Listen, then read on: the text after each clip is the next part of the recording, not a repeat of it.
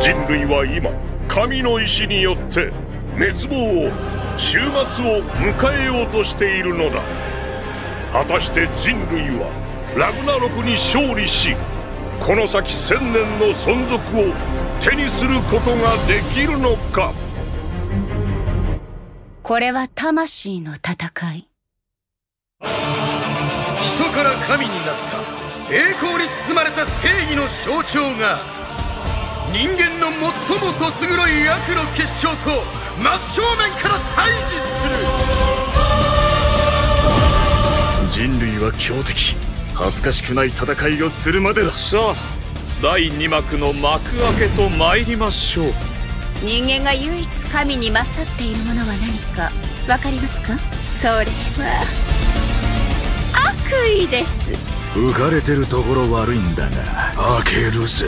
ちった楽しめそうだ。したいの喧嘩。